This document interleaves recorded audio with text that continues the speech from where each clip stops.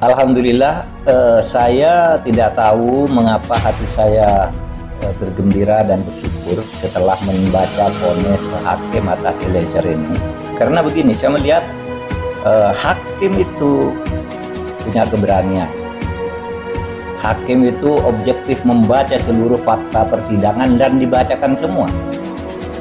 Yang mendukung Eliezer, yang memojokkan Eliezer, semua dibaca suara-suara masyarakat didengarkan rongrongan-rongrongan yang mungkin ada untuk membuat putusan tertentu tidak berpengaruh kepada hakim sehingga dia saya lihat putusannya menjadi sangat logis. Tentu menurut saya berkemanusiaan ngerti denyut-denyut kehidupan masyarakat kemudian progresif juga